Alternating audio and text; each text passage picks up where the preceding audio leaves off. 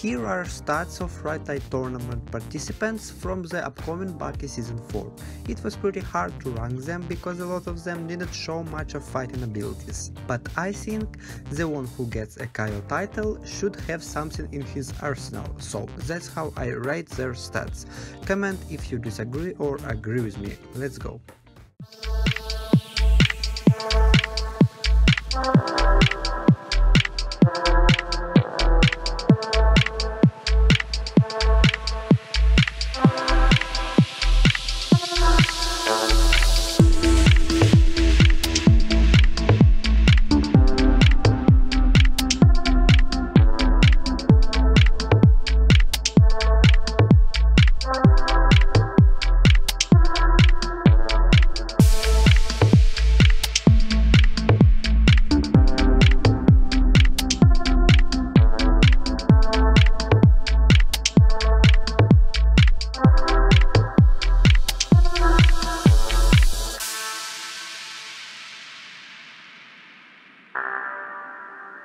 Gracias.